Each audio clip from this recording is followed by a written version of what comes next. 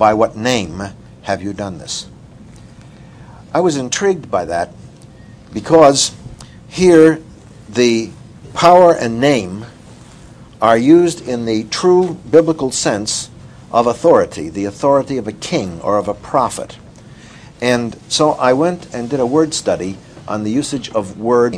And the best spokesman on the subject was Dr. A.T. Robertson, the great Greek scholar. And when he got on the subject of uh, name, he made this important thing on Acts 2:38. Repent every one of you, be baptized in the name of Jesus Christ. And then he goes on to say, to you the use of onoma or name means in the name or with the authority of one as in eis onoma propheto.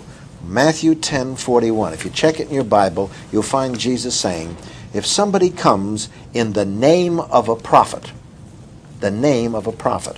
And Robertson points out correctly that as far as the, the Jews were concerned, the name of a prophet meant with the authority of a prophet.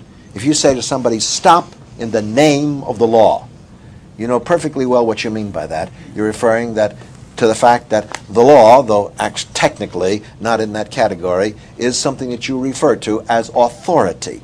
Now, what we're saying is, and what the Christian church has classically argued on this point, is that when the phrase baptize in the name of Jesus occurs, it refers exactly as in Matthew chapter 10 and as Robertson points out to baptizing by the authority of Christ. What was Christ's authority?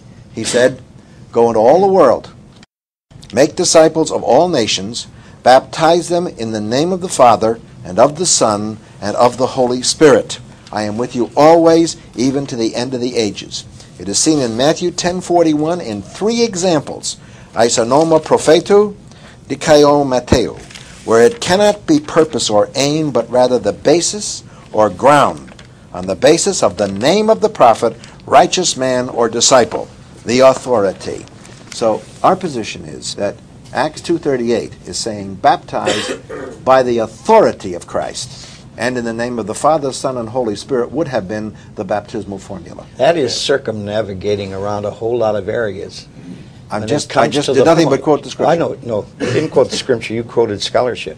Is something wrong with that? Well, in this instance, it takes away completely from the real meaning of baptism in relationship to the name of the Lord Jesus. How would you know Who died Ro- for Robertson's you? a scholar? Who died for you? Jesus Christ. Who shed his blood for you? Jesus Christ. By whose uh, blood are your sins remitted? Blood of Jesus. What did the apostles baptize in? In the name or by the authority of Jesus It doesn't Christ. say by the authority. It But I says do in not- the name brother, of Jesus. Brother Nathan, You went back to You missed completely the entire section. Absolutely. As I'm if I never read it. I'm quoting, I'm quoting the authority of Simon Peter. No. What you're doing, what you're doing is I'm saying- quoting what the scripture no, says. I just quoted what the scripture said too, and I very carefully. You said by the authority. That isn't what the scripture says. may It I says just- in the name of Jesus. Can I just respond by saying, look, all I did was to say, this is how we understand the passage. I read the passage, and then I said, look at Acts chapter 4. It says, what name or power? The Jews equated name with power.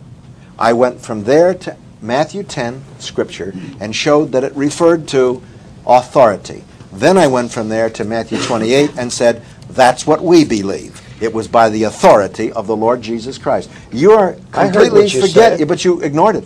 I did because it says in the name of Jesus or in the name of the Lord Jesus. But it means in Greek it by so- the authority. Why why make it so difficult when it's as plain as it can be in the scripture? Because it's plain only because you're ignoring what the text says.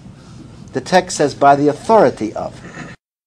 text does not say that. Let me ask you I just just read it to you from the Greek, anon, uh, anomity. I'll ask you three questions, and I don't understand why the session has gone so long. But number one, why does it mean by authority of in Acts 2.38 and not by authority of in Matthew 28.19? Is there a definite reason why it isn't by authority of in Matthew 28.19? Number two, what is the name which is above every name in Philippians chapter 2? Number three, the scripture that you said the Church of Christ quotes with us, what is the name? Neither is there salvation in any other, none other name under heaven given among men whereby we must be saved.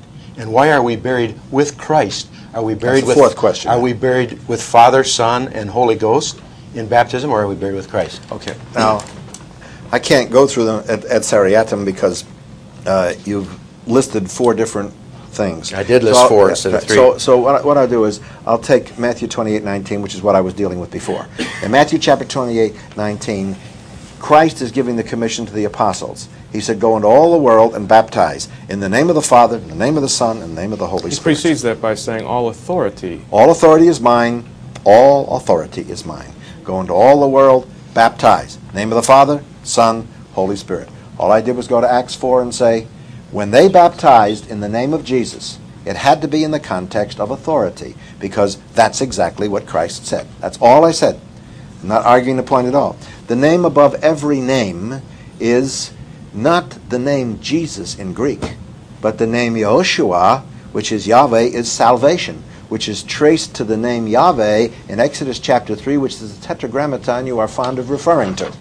So, God gave Christ a name. The Father gave the Son a name which is above every name. Yahweh is salvation, but it is the name of God, and it's God shared by Father, Son, and Holy Spirit. For us.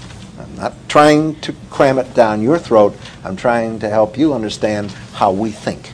To answer the other question, uh, the fact is that we're free to end this any time. I am keeping it running, Certainly. and if you want to stop it, we would like to hear those views and get them a different opinion on both sides. See, Acts 2.38 is a passage that the UPC quotes repeatedly. We quote, uh, we quote uh, Acts 10 too, and Acts, uh, Acts 8, Acts 10. Well, could I ask you a question since I've been asked all kinds of You questions? didn't Can answer the other questions you asked you.